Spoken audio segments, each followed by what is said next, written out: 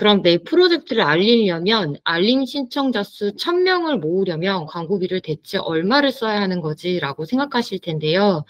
어, 이렇게 목표와 광고비 전략을 단순히 비용 관점에서만 계획을 하시면 광고를 운영하신 후에도 왜 그리고 어떻게 이 알림 신청자 수가 모이게 된 건지 그리고 더 모으려면 어떻게 후속 광고 전략을 짜야 되는 건지를 계획하실 수가 없게 돼요. 그럼 결국 나중에도 계획 없는 광고 비만 지출하시게 될 거예요.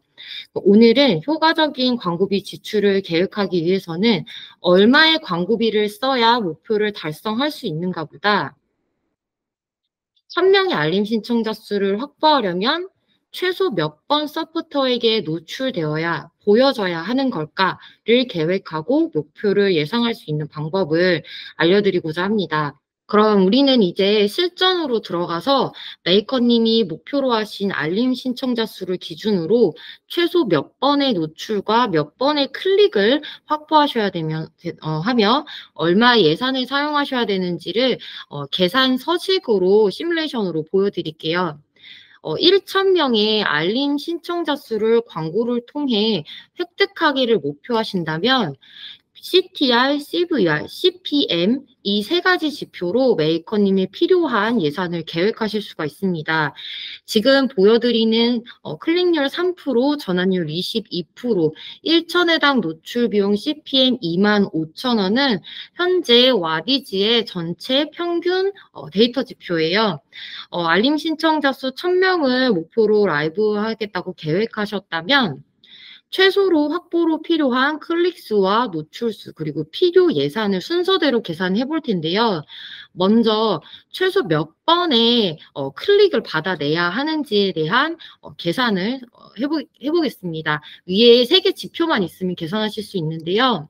먼저 목표 알림 신청자 수 나누기 그리고 전환율을 계산 어, 나눠주시면 되는데요. 데이터로 보자면 1000 나누기 22가 될 거예요. 그러면 여기서 최소 4,545번의 광고 클릭을 받아내야 한다라는 계산이 나옵니다.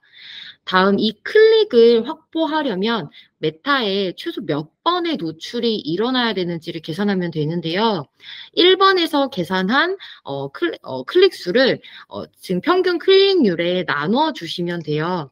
어, 결국은 4,545에 나누기 클릭률 3% 를 계산하시게 되면 최소 확보하셔야 되는 메타 광고 안에서의 노출수는 15만 회 이상이라는 계산이 나오게 됩니다.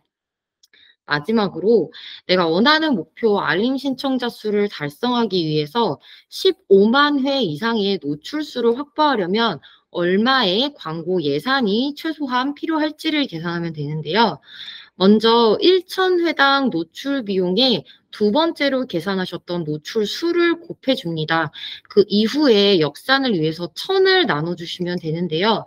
어, 이 값은 25,000 곱하기 15만회 그리고 나누기 1000을 계산하셨을 때 메이커님께서 1000명의 알림 신청자 수를 확보하기 위해서 메타에서 최소한에 사용하셔야 되는 광고 캠페인 예산은 370만 원 이상이라는 계산이 나옵니다. 지금 참고해 주실 부분은 어, 최소 노출수, 클릭수, 그리고 최소 필요 예산을 계산하는 서식으로 어, 광고 라이브 후에 메이커님이 직접 세팅하신 광고에 CTR, CVR, CPM에 따라서 달라질 수 있으니 어, 최소 필요한 노출수와 예산을 계획하시는 단계에서 응용을 해주시는 게 좋습니다.